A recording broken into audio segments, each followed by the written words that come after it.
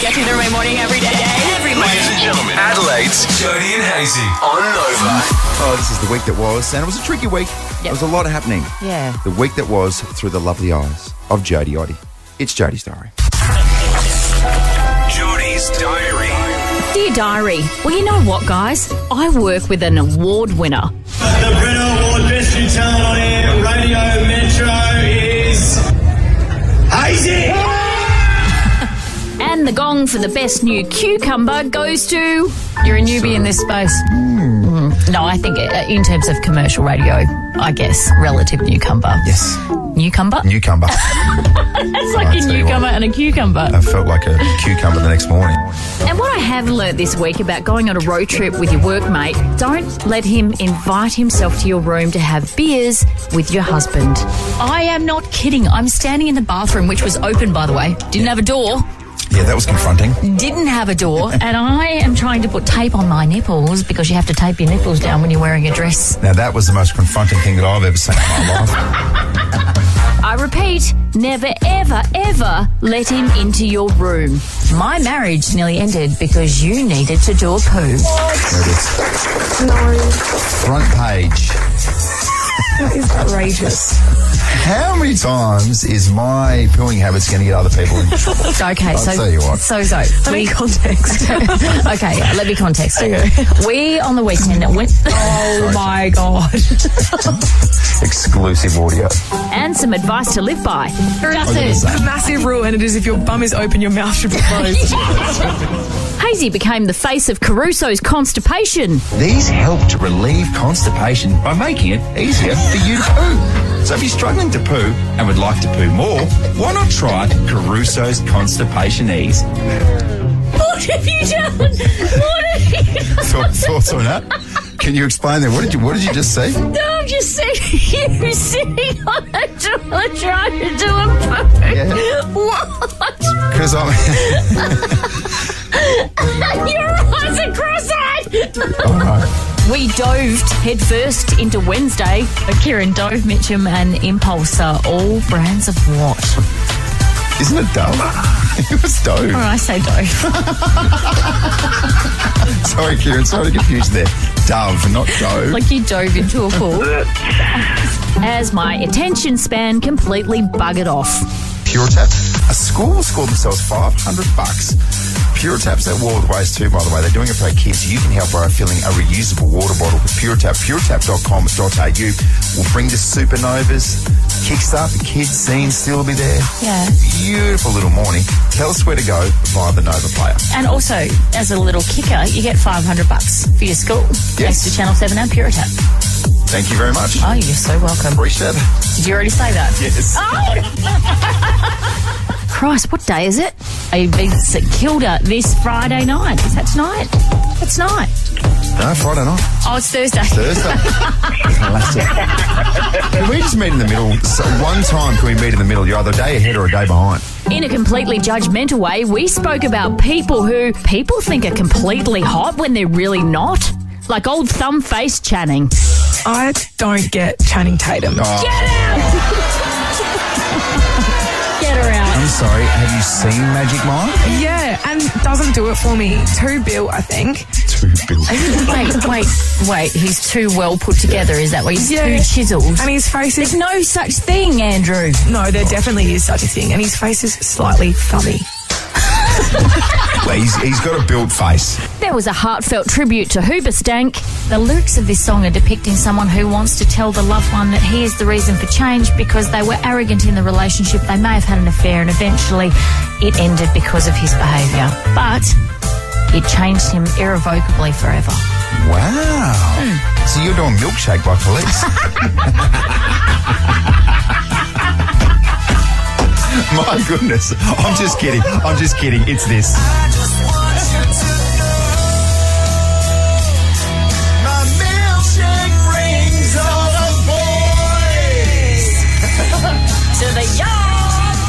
And as always, let's finish with some off-air gear. He's been in some of the oh, he's been in some of the biggest international TV shows like Game of Thrones. Some of the some of the highest grossing films like the So, to all the cucumbers, newcumber, newcumber, Newcomer. and everyone who's backed up, so if you're struggling to poo and would like to poo more, why not try? go off this weekend, kings and queens, whatever day it is. All my love, Jodie. Leaving a company or a job or anything in particular, it, it can be awkward. It can. And it can be awkward when it's someone that you think in your head, Jesus Christ, how did you even survive this long? Yeah. Because you're really bad at your job. Can't wait to see the back of you. And also, you're a bit of a D head. Yeah, 100%. D head. I don't even know what that means, but I assume it's not good. No. Hmm. A UK woman who sued her former employer over not receiving a leaving card has lost her employment claim after it was revealed the card was hidden from her when only three people had signed it. And then and then she sued them. And that, my darling girl, is the reason why everyone's pleased to see the back of you. Yes. Coincidentally, her name is Karen Conahan. She, oh. she brought 40 complaints to a tribunal and claimed that she, the lack of leaving card was a, a failure to acknowledge the, her existence. And then their response basically was, well, we hid it from her because we thought that would be even more derogatory Yeah. that such little people interacted with the card. Yeah, that's sad, isn't it? Three. Oh, how many, does it say how many people in the whole entire company? Is it like a car? 10,000. 300. she works at Google. I, am not sure. I'm not sure. Oh wow, that is pretty brutal, Do isn't you, know, it? do you know the other thing as well is that when you leave some of those big stupid farewell cards? Yeah. Oh, Producer Flack, you've got some thoughts on this. I've had seven over my whole career. Stop getting fired, mate.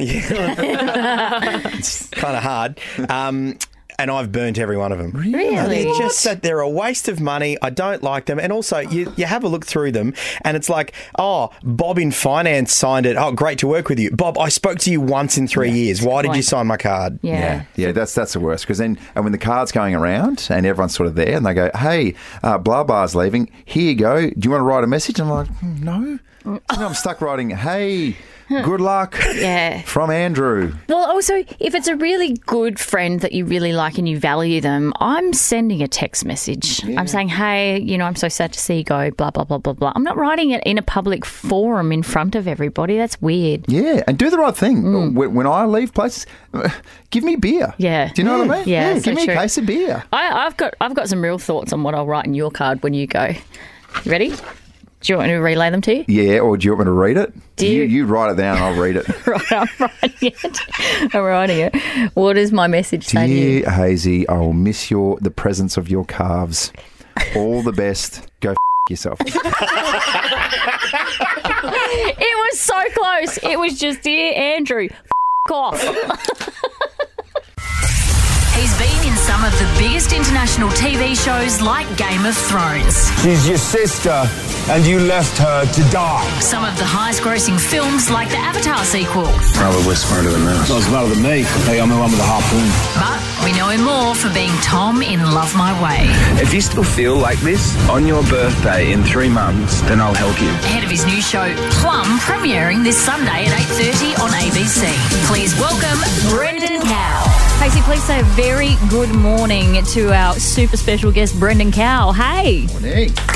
Hey guys, how you going? Thanks for having me on. Oh, thank you so much for coming on. Um, please tell us about uh, Peter the Plum Lum living the dream until he's not in this incredible new show. Yeah, well, that pretty much sums it up. Um, I, I wanted to explore post career for athletes, you know, what happens to them. And because I've read a lot about how they can become very depressed, the lack of identity, what happens with their body. And Peter the Plum Lum works at the airport. He was a footy hero, kind of Paul Gallen, kind of Greg Yep. Bird kind of guy. And he's got a, uh, a girlfriend and a son who loves his beers with the boys and training. And, and then one, one day at work, he has an epileptic fit. He has a seizure on the, on the, on the tarmac as a result of the concussions he took on the field because he was one of the toughest to ever play. And suddenly he's faced with a bit of a situation, which is, you know, do something about it. Very hard when you've never been scared of anything and your own the way you solve things is through running through a brick wall so that's kind of where we lay our scene. It's an interesting situation, mate. Like I know, and even from an AFL perspective, it's the same thing. And I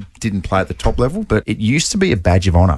If you could get through a concussion test, come out the other side, and still be dizzy Right. and not know where you were, but play, you were a hero. And now, and I- I've had to do it. I'm, I'm 40 years old now, and I've had to sit down and be like, "Geez, man, how many concussions did I cop?" But how many concussions do you think you had when you played? I had three really bad ones. Yeah. But I had, I reckon, maybe a dozen of the micro ah. ones, which were where you'd get knocked and phased, and you knew that by the time you got to the bench, you'd be fine. So you'd push through it for a good 30 seconds. Who knows what's going to happen? No, that's it's- it's amazing, man. The, the thing that they're becoming more concerned with is those repeated concussions, isn't it? When you, you have been concussed and you come back out, leaving yourself vulnerable to be concussed twice, you know, a direct avenue towards CTE. Of course, you can't diagnose CTE till posthumously because you can't go ferreting around in the brain. But there is TES, which is traumatic encephalopathy syndrome, where ex players, even soldiers and sound people and boxers might show symptoms of, you know, bouts of rage, um, forgetfulness, insomnia,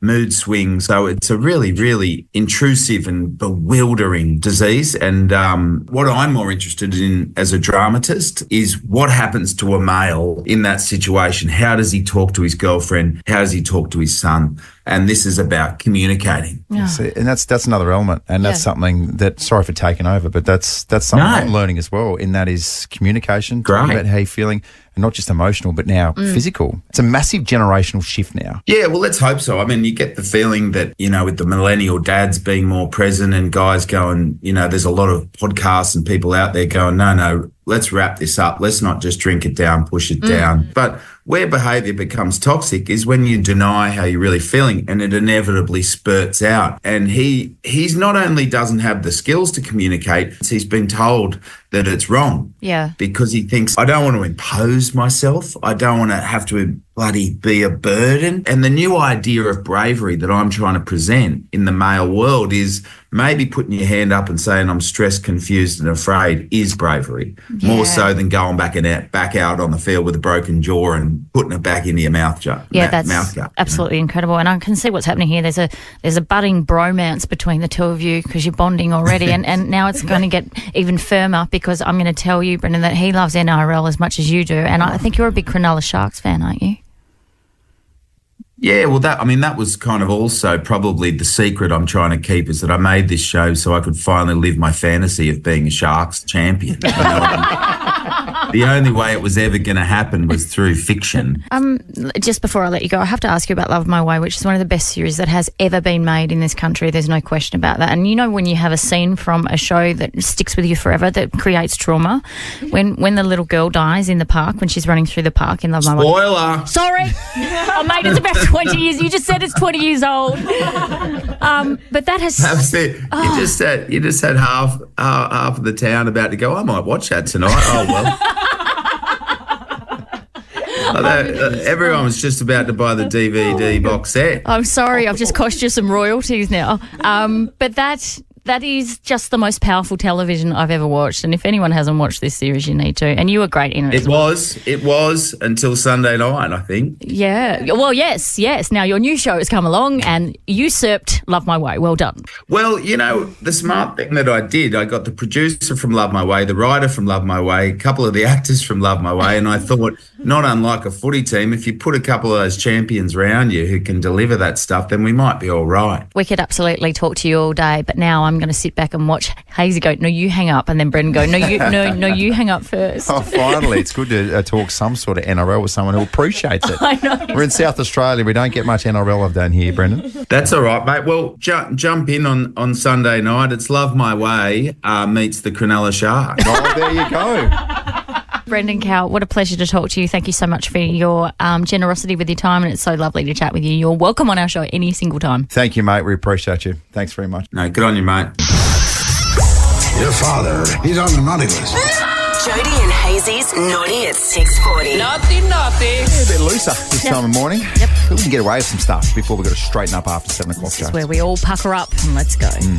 Let's talk underwear, use or not use of. Oh. Do you know what I mean? Okay. Okay, this will make sense when I say it. Delta Airlines recently released a two page memo detailing appearance requirements for future employees, which stipulates that flight attendants must wear underwear. You booing? Why are you guys booing? oh, come on, guys. Um, well, Straighten um, up. is that like a no-brainer? Oh, it probably is. Those, ti th- can I say, those skirts are tight. Yeah, but that's the thing. The memo is split into four sections covering grooming hair and what jewellery is acceptable in clothing. More specifically, it states that proper undergarments must be worn by interviewees and current flight attendants must not be visible. So, uh, is it, We're talking, is it a Sharon Stone sliver moment that they're trying to avoid or what's going on? I'm confused as to how they know that people aren't wearing them. That's the thing. No, but you can. This is.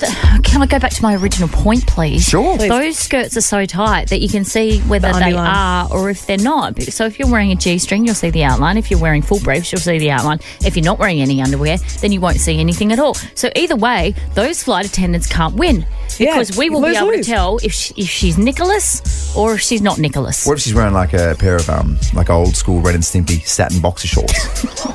so true. That's also distracting because you know Can I who wears them these days? No, can I ask a question? you would have had a pair of them. yeah, you, absolutely. You would, did. you would have. Ne- this is why you went home alone at 3 a.m. every single time because no one is having sex with you when you're wearing red and stiffy yeah, but they, did, they didn't even know I was wearing it. I know, but so if I'd got someone home and then they saw it, they still would have left. yeah, but you were enough of a douche for people to go. He'd be wearing red and mm. stiffy underwear. Stimpy, you idiot!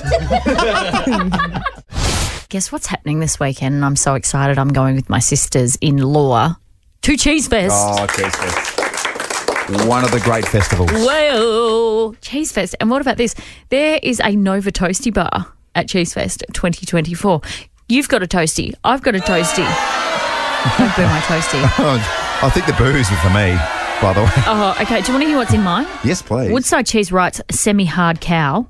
What? Sorry? right. Okay. It's before seven o'clock, and I'll tell you what. you'll get an insight now into what uh, Jodie eats away from work. Why not completely hard? That's the question. Why semi hard? I don't know. anyway, continue. What else?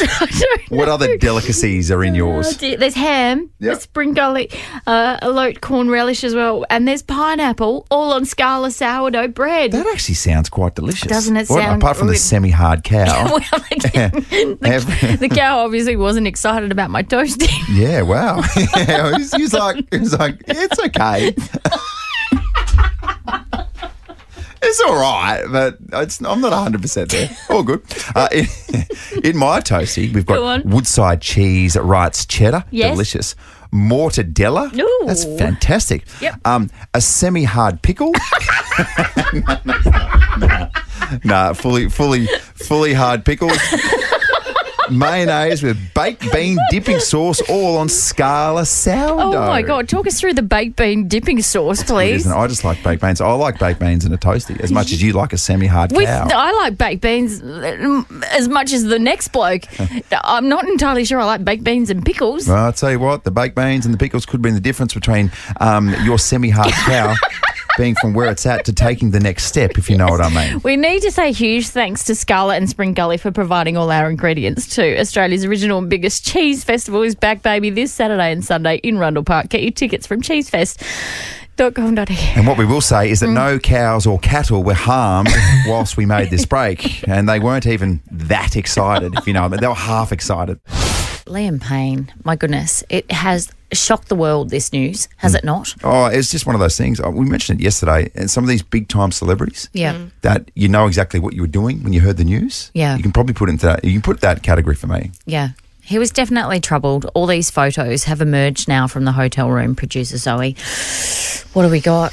Yeah, it's um, it is just incredibly sad. Unfortunately, every new bit of information that comes out just makes the whole thing a whole lot worse. It's really awful. Um, a 911 call from Argentina has been uh, not released, but they've released the transcript of what was said. And uh, part of that was we have a guest who is overwhelmed with drugs and alcohol. He's breaking things, he's tearing the room apart. We need someone to be sent to us urgently. We don't know if his life is at risk. Incredibly, incredibly sad.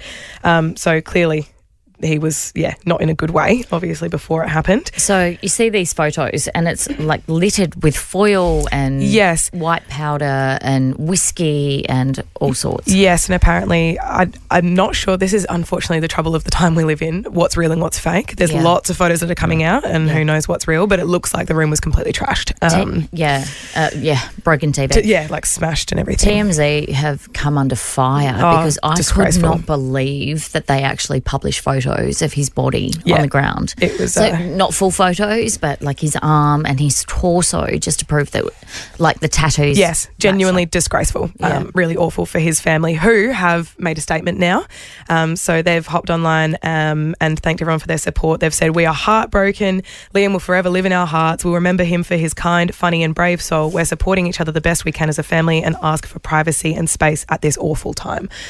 Uh, the One, Direct, One Direction boys have also made a joint statement saying that in the coming days they will make their own statements, but for now they're supporting each other. Okay. Unbelievable So, situation. Ant Middleton um, did a podcast with him, or actually a doco. Mm, it's a documentary. It's called Straight Talking, Mm. um, and it's it emerged yesterday. A lot of people they're actually they're quite they were quite close friends. Yeah, Yeah. didn't Um, realise. Yeah. So this particular documentary, they he travels with celebrities. They went to Namibia, and uh, there's a, a bunch of stuff in this documentary that was Yep. probably alarm uh, signs back then for what potentially could have happened. But Yeah. it gave you a good insight into probably the stresses of being a big time celebrity.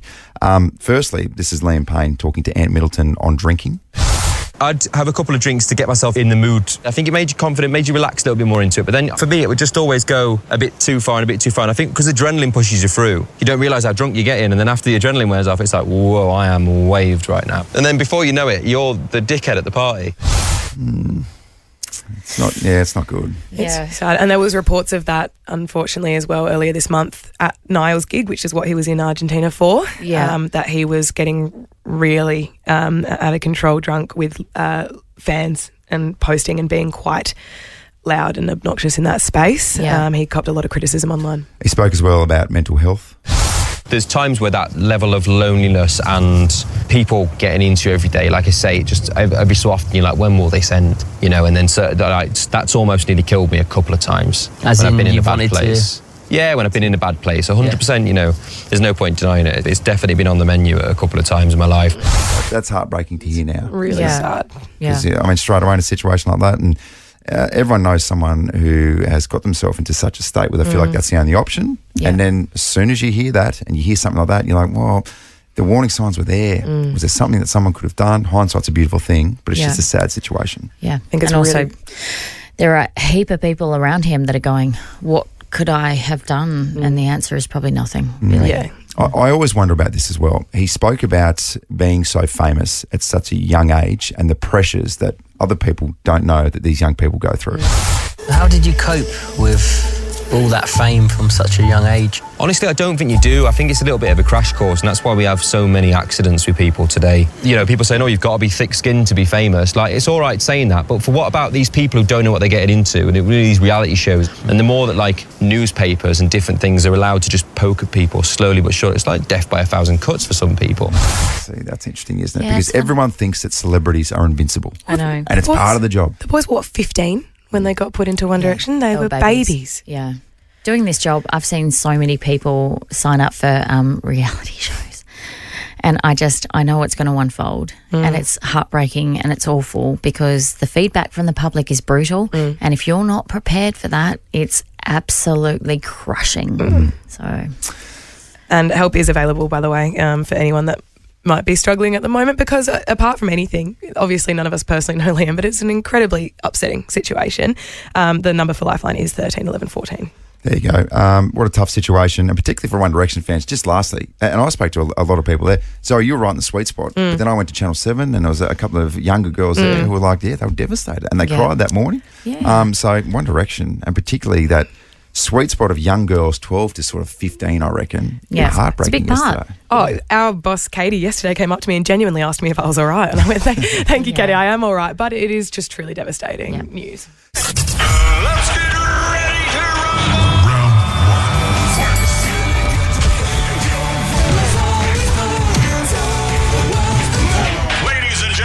Battle of the Bangers. I mean, the tension, the anxiety that comes with Battle of the Bangers Totally. is just, it's ever so consuming sometimes. and so much so that you can't even stop sneezing. Sorry. I'm so sorry. Okay, so Oh, God. again, Here we go. Ah, nice. again, we're out now. Is that your cell? Yep. Is that why people should vote for your song? No. Because you're sick? no, so the topic this week was 2004. Yeah. Given we were born. 20th birthday last night. And so, um, what we did discover as well through all of this is that 2004 was an unbelievable year for music. Yeah, it was. How good. so many incredible tunes. So, what I did take umbrage to was last night. Excuse me? In a room full of people who were just adoring you. Excuse me very much. And you took that opportunity to take advantage and play your song. Not just play your song, but sing it live in front of everybody. Okay, can I just say, can I just say, I thought that I'd try and attempt to take the party to the next level. Yep. And just inject a bit of extra life. Yeah. And I thought, what injects life better than grabbing the mic and singing Shannon Noll, What About Me? He gets to his feet and says, What about me? Oh, they loved it too.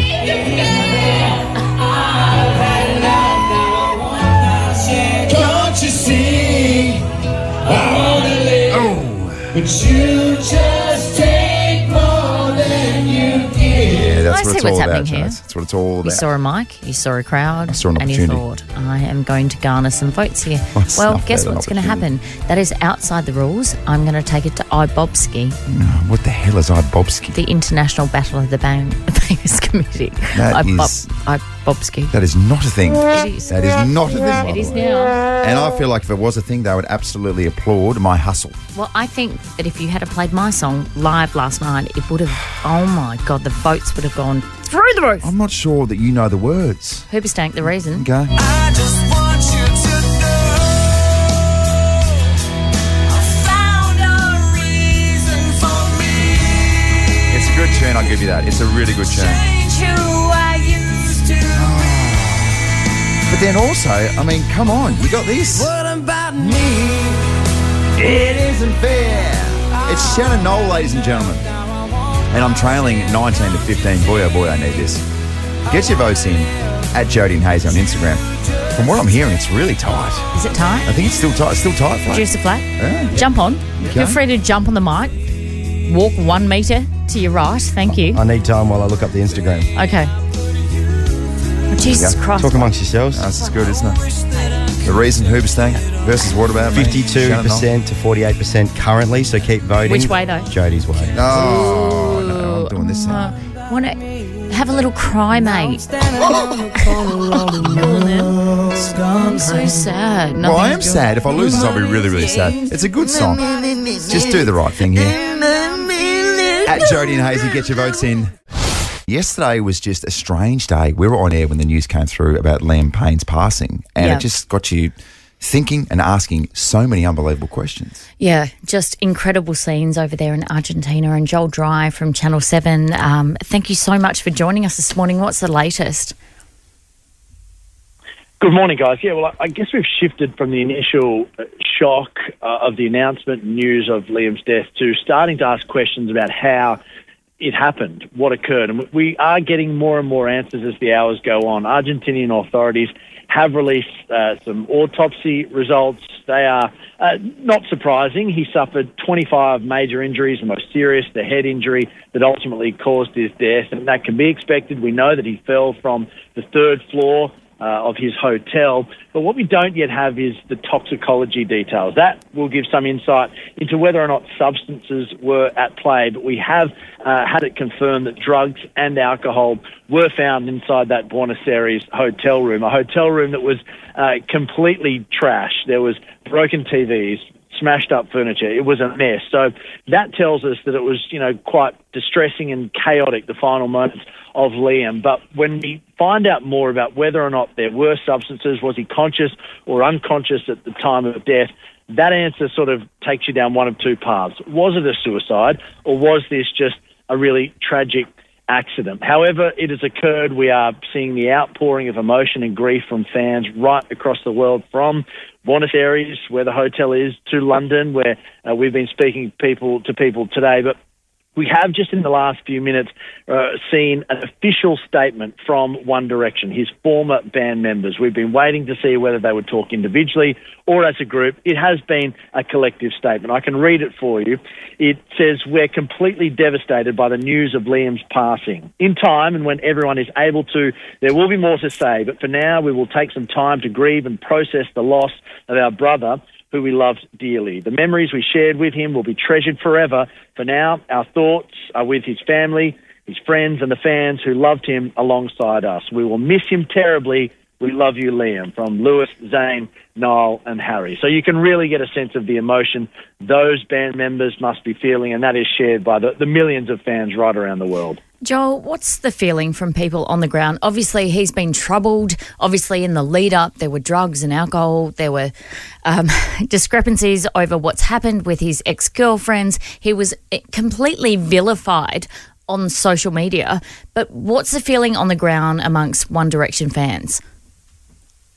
You know, he's a much loved member of, of that band. You know, he'll forever be one of the, the biggest ever boy bands to ever exist. So for the fans, they're devastated. They're, they've, they've lost uh, an original member, and for them, it, it's hitting really hard. But as you said, there are tragic circumstances, not just in his death, but in the years um, leading up to this. The years since the band broke up have been difficult for him. He he branched out in a solo career that perhaps didn't have the same success that other members, nor certainly the, the, the band had. And there was a, a well publicised battle with drugs and alcohol, a battle that he, he did say he, he was getting on top of. We said he'd been uh, alcohol free for some time, but as you mentioned, there was in recent days an apparent separation from his girlfriend. They posted on Instagram just a few days ago from a hotel that they were happy, but then she has returned to the US in trying circumstances, and perhaps that has has been what has caused him to spiral and maybe go back to some of those old demons, the drugs and alcohol. That will be something that will be answered in time with more test results. But however it has occurred, it's obviously been uh, a really sad event and, and one that is being felt by so many people, most acutely, of course, his family. They also released a statement saying they are heartbroken by this news and they have the very difficult task now of heading over to Argentina. Yeah. To collect their boy and ultimately bring him back here to the UK. Just an unbelievable situation. Joel Dry from Channel 7, thank you so much for your time, mate. We appreciate it. We appreciate it. Also, good Adelaide boy. Oh, Are you coming you go. home anytime soon? Well, not tonight. I've got some more work to do, and, and not not not in the next few months. But one day, I've just got to convince my wife to Yeah. um, to, to join me to join me on the pilgrimage back home. That'd be nice. Um, take care, Joel. All the best. Good on you guys. See you. There we go. How do we even deal with this? So, the AFL has sanctioned 13 current and former GWS players in the wake of the Giants' postseason function, with the league describing their behaviour as completely unacceptable. And if you're not convinced it was unacceptable, this is what they did.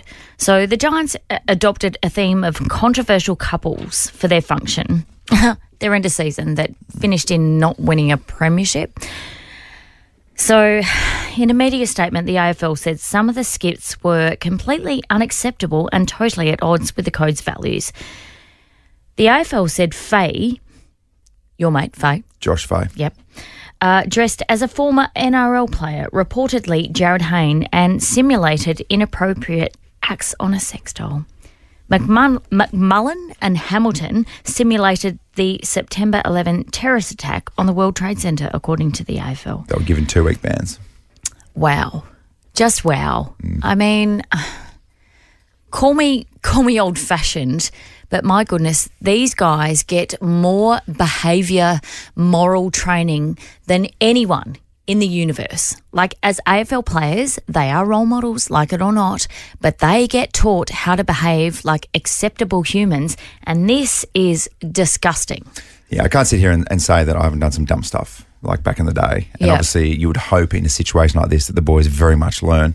But the education, everything that goes into it, there's it, that's that's the big question mark. And I know it was a, a closed environment where no one else was supposed to see, but I just would have thought that today, even versus ten years ago, you just you just wouldn't do it.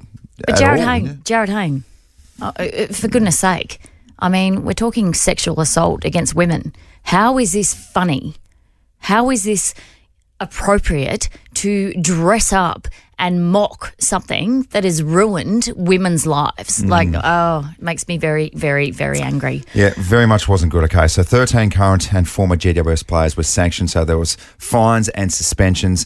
Here's what the CEO of the AFL, Andrew Dillon, had to say. disbelief, disappointment. Our clubs celebrate and commiserate their end of their seasons, and they do it in, in good spirit most of the time. And it's uh, some terrible choices that were made. It brings the, the topic up as well, and it, it's ongoing each and every year. As soon as someone stuffs up, Mad Monday or Wacky Wednesday, We probably just rule it out. Just there's much of a but, uh, place for it unless you can genuinely trust that the boys. And I, I would feel like you could trust 99% that just go somewhere, have a few beers, and It's Not even ninety nine percent. You've got thirteen players who've been fined and sanctioned. That's yeah. It blows my mind that in this day and age, this is still happening. Mm. For goodness sake. And it is, unfortunately. So there you go. Um, importantly, as well, for Crows supporters, Isaac Cumming and uh, Josh Peatling Yep. weren't involved. They've been completely cleared. Yeah. So the start to their Crows careers won't be interrupted. Yeah, but Toby Greene disappoints me because he's an icon in the AFL and people look up to him. And he obviously sat there and watched this unfold and did nothing. So That is the latest on the GWS situation. It's Friday. Adelaide's Jodie and Hayesy.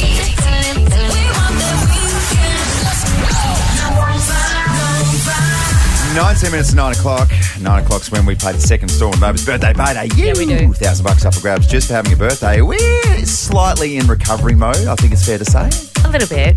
I mean, Thursday night parties, that'll do it. That'll do it. Yeah. Do you know what we'll do? It usually calms you down for the weekends. True. Because you're like, maybe I'll use the next couple of days to recover. But then you have a Sunday session and then you ruin yourself on Monday. Is this your life? It's a dirty, dirty cycle. Yeah. Nova's 20th birthday was on last night at the district. We had such a good time. Yeah, we was loved catching up with some old Nova 919 alumni as well, Yep. including our boy Fitzy, who knows how to work a crowd. Jules Schiller and Ryan Fitzy Fitzgerald. Hello. Hello, everyone. It- there's a lot of familiar faces here, and it's great to see you got day released from Yatala, so thank you for coming here tonight. That's how you do it. That's how you nice. project yourself in a crowd. Very the nice. man knows how to read a Yeah, crowd. he does. He does. I was also a lot of fun catching up with Haley Pearson, Shane Lowe, Ben Lehman Bell were there as well. Yep. I did enjoy this from Liam.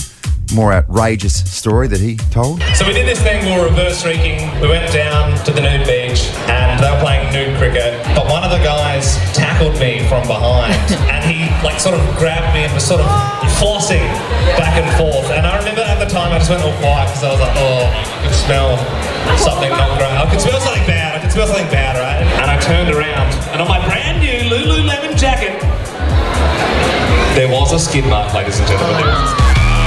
There was a Whoa, whoa. There was. His Lululemon was a poo poo lemon jacket from that Spot point. on. Good call there, Ben.